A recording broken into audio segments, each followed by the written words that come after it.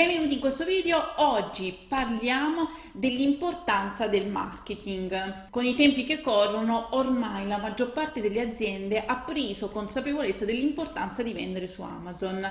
Devo dire che inizialmente la mia avventura con Impacto non è iniziata benissimo. Ogni mattina mi alzavo, mi preparavo di tutto punto, mi vestivo così elegante, cosa che non è da me preparavo il mio portadocumenti che mio marito mi aveva regalato come portafortuna e mi recavo personalmente dai negozianti, dagli imprenditori per proporgli il mio servizio. Ma non appena pronunciavo la formula magica, la fatidica parola magica vendere su Amazon, venivo letteralmente cacciata a calci nel sedile. Per fortuna le cose da quel periodo ad oggi sono decisamente cambiate. Non mi reco più io personalmente presso i negozi. La pandemia sicuramente mi ha aiutato, ma non solo. Molte di quelle aziende hanno dovuto issare bandiera bianca, molte altre però hanno preso consapevolezza, come dicevamo prima, e hanno finalmente capito l'importanza di vendere su Amazon. Il problema oggi non è più se l'azienda vuole o meno vendere su Amazon. Quasi tutte le aziende hanno capito che vendere su Amazon è importante, l'ho detto 300 volte. La vera domanda oggi è quanto le aziende sono disposte a investire per vendere su Amazon, per posizionarsi su Amazon, quanto sono disposti a investire nel marketing per far conoscere il proprio brand e per posizionare il loro brand su Amazon.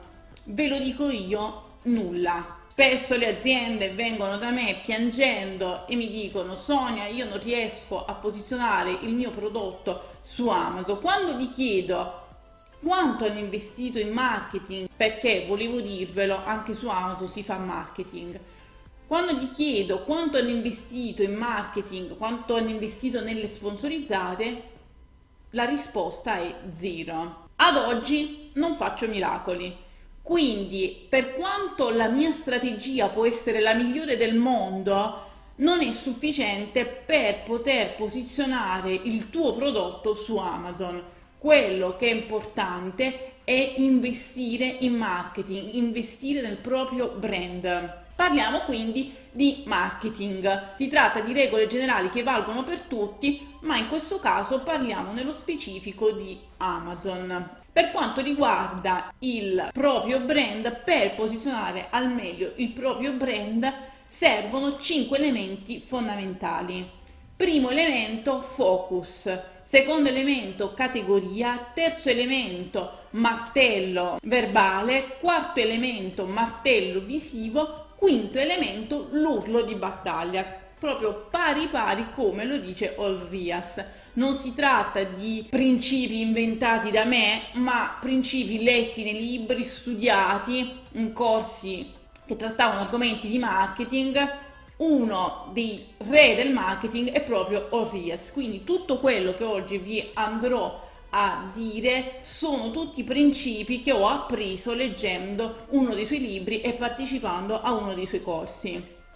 Torniamo a noi, abbiamo detto che uno degli elementi, il primo elemento è proprio il focus.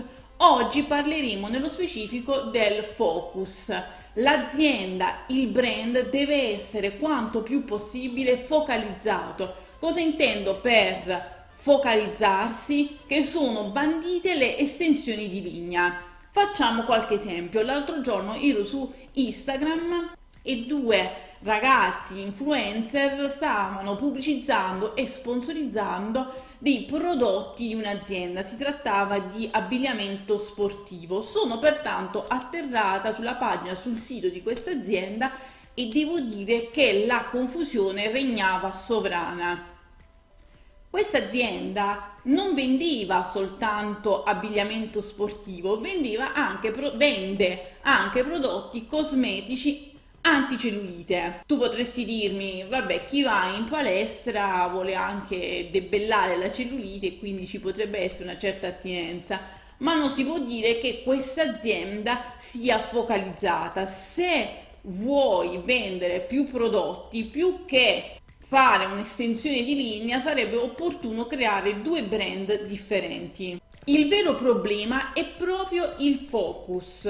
L'estensione di linea intralcia il processo di branding. Quando un'azienda vende un'ampia gamma di prodotti, più prodotti sotto un unico nome, è estremamente difficile che questo nome possa diventare un brand potente. Quindi la regola numero uno del marketing è proprio il focus.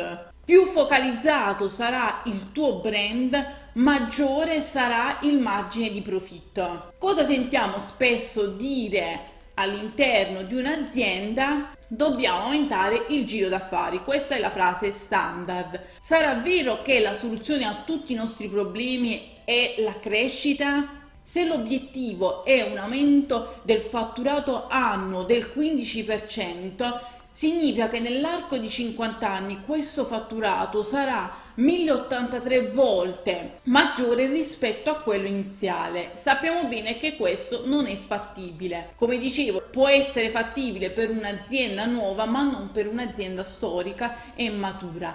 Pertanto, quale dovrebbe essere l'obiettivo? vi lascio con quest'ultima considerazione e vi invito a riflettere.